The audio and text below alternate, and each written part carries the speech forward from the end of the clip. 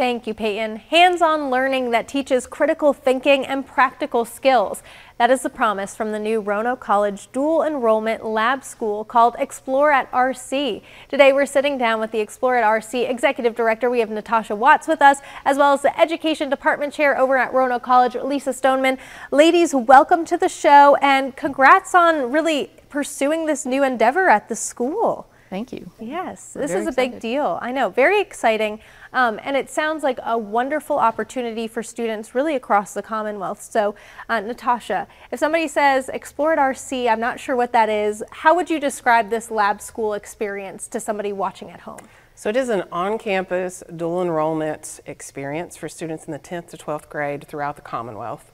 Um, and we are inquiry-based, immersive learning. All of our classes are hands-on. They're really meant to engage students and excite them about the possibility of going to college. Yeah, and it gives them that experience kind of on the, the earlier end of things too. So Lisa, being able to see these young people come onto campus and have a really a college experience while they're still in high school, what does that do for them and kind of their growth? One of the things we see in freshmen um, we've been dealing with those for a long time, yes. is that they're not what we call college ready sometimes. Yeah. Um, they still have a lot of growing to do in owning their own experience and figuring out that they are actually running their learning. They have to engage, they have to finish assignments, they have to keep their time. They have to do things um, like communicate with their professors in professional ways that they may not be used to. There's nobody guiding that for them anymore. So I think one of the main things is just learning that they do control their own learning environment. And that's a really exciting thing, but it's also scary. Absolutely. And it's a skill I think everyone has to learn because there's not that hand holding that you get maybe in some of your primary like primary education. So um, being able to be part of this new lab school experience, Natasha, this is something you've been working on for a while. Um, how are you guys feeling get it gearing up and what skills do you hope uh, students take away from this? What will they be doing on the day to day? So on the day-to-day, they're actually going to be mostly going to class, going to lab. Uh, in between those, we actually have professional development sessions geared towards how to college, yeah. so to speak. Um, they're going to be spending time uh, getting their assignments done. We have like a, a, dedicated space within our library so students can come and they can work and they can have tutoring services um, because we want them to be very successful. Mm -hmm. Not just a little bit, we want them to actually be successful. Yes. So that's kind of like part of that process. I think that's really fabulous too, that you're making sure that everyone comes away with a good experience through this as well.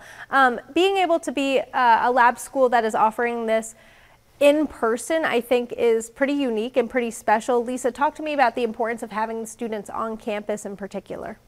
I think the on-campus piece is so important because it lets them see themselves in this college environment. It's not something they're doing online at home or in their high school and kind of beaming in. They're actually there with other college students. They can see the similarities between themselves and those students who are already successful. They can make friends with those folks and actually get some peer mentoring things going on where they kind of they learn from those folks that are already there. They figure out, you know, how to navigate and I think navigating a different campus than the one you're in high school with is, is very important. And it adds to that skill set you have where you're confident now. Mm -hmm. I'm confident. I've tried something new. It's working out. I'm being successful in class, but I'm also being confident socially. I love like that. They can, they can roam around. They can go eat with the other students. They can go and sit in the coffee shop and study um, learning how to, to navigate that whole different environment is really important. Yeah, confidence is key, and I think it's something even as adults we need to keep reminding ourselves of and keep learning how to be confident as well. Um, so when it comes to this program, you're still accepting some applicants, right? There's a upcoming deadline, August 1st. What would you say to somebody who says, okay, I think my student might be a right fit for this type of lab school experience? I would say email us at explore mm -hmm. um, at roanoke.edu and start that application process. Um, I'll send you the courses that we have for this fall term slated. You can review those, see if they fit your students' needs and wants, and then we kind of go from there. It's a really organic process as it stands now because it is our pilot year and we are building a few things to be a little bit more fluid. Um, but that's the process to get started. Yeah. And the deadline is August the 1st. Excellent. Okay, and that deadline is coming up. If you want more information, there's the URL address, but explore at roanoke.edu is a great resource to send an email or maybe even give them a call too.